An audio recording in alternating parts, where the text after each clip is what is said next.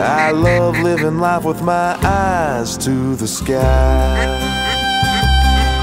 When the day is done, we'll wait for the sun, and when it